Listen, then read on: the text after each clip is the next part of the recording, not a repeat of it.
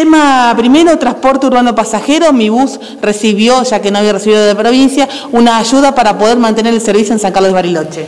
Sí, nosotros lo que hicimos fue, con autorización del gobierno de la provincia, es adelantarle el subsidio provincial eh, para darle el pago al 50% de los, de los salarios que se había comprometido la empresa, pero este es un adelantamiento por el Fondo de Nación que no había llegado, no por el de provincia, porque provincia siempre había dicho que llegaba al 20 del mes y Nación no había cumplido con el envío, con lo que se había comprometido, entonces en conjunto con la provincia tomamos la decisión de hacer frente al pago de los salarios en el 50%.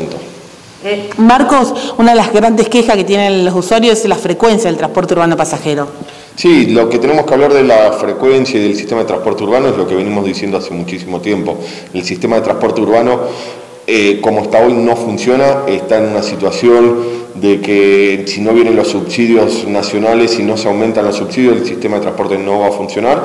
Entonces estamos trabajando en esa línea pero hoy es lo que se puede hacer. Tenemos que tener en cuenta que Bariloche todavía está en aislamiento social preventivo y obligatorio, lo que hace que la circulación en la ciudad tiene que ser restringida y el sistema de transporte urbano se rige por ese aislamiento también.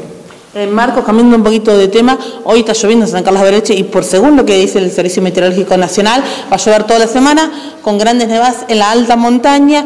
Eh, ¿Han tenido que socorrer alguna familia que ha sufrido algún contratiempo por esta lluvia? Por el momento no hemos tenido que socorrer a nadie, lo que se está trabajando es desde las cuadrillas municipales y las cuadrillas de las delegaciones en la relimpieza de los pluviales, porque se había hecho un trabajo muy fuerte en ese sentido, y todavía hay algunos vecinos que siguen tirando la basura en la calle y eso tapa los pluviales y hace que no funcione bien el drenaje del agua. Se está trabajando mucho con un pluvial de la zona de Frutillar, de la zona de Malvinas, porque es mucha la cantidad de agua que ha caído y estaba medio tapado también, creo que se ha encontrado un colchón o un televisor adentro. Algo para tener en cuenta que después eso no llegue a las casas. Totalmente. Cuando nosotros como vecinos tiramos la basura a la calle, eh, estamos previendo que se tapen lo que son los pluviales y las bocas de tormenta y eso hace que en algunos lugares se inunde porque no pueda seguir corriendo el agua o esté más bajo que el recorrido. Entonces entre todos tenemos que cuidar de la limpieza. Hemos hecho un trabajo muy fuerte desde las delegaciones, de la Secretaría de Servicios, en lo que es limpieza, limpieza de barrios, pero todavía nos quedan algunos barrios que terminamos la limpieza y a los cuatro días eh, tenemos basura nuevamente en ese lugar. Recordemos que hay un día que no va a haber recolección de basura. Sí, el día feriado, el 20 de junio, por ser feriado, no hay recolección de residuos, como venimos haciendo ya hace un tiempo, los días feriados no se retira la basura. Para que el vecino no la saque.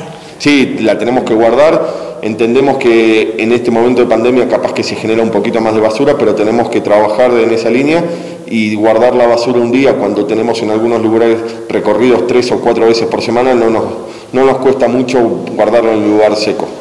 Eh, eso para tener en cuenta los vecinos. Y ya para ir cerrando, que nos cuente, porque estamos llegando a seis meses, eh, toca el aguinaldo para los empleados municipales. ¿Qué nos puede decir al respecto? Estamos trabajando en la situación del aguinaldo, estamos trabajando y observando qué es lo que sucede también a nivel provincial. Todo va entrelazado, pero la idea es eh, ver cómo avanzamos en los próximos días.